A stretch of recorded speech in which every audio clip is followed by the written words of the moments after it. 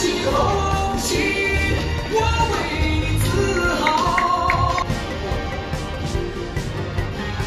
常特别，这是我在滑板就是大型比赛第一次得到金牌，很沉，非常非常沉。因为刚开始我爸玩，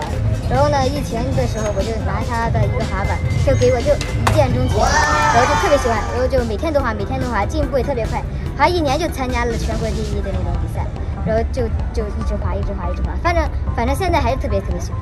因为他刚开始接触就开了一个滑板店。然后呢，我后来滑，然后他又开了更多的滑板店。然后呢，我们一起然后滑，然后还有一些小朋友，特别感谢他，争取参加上奥运会，巴黎奥运会。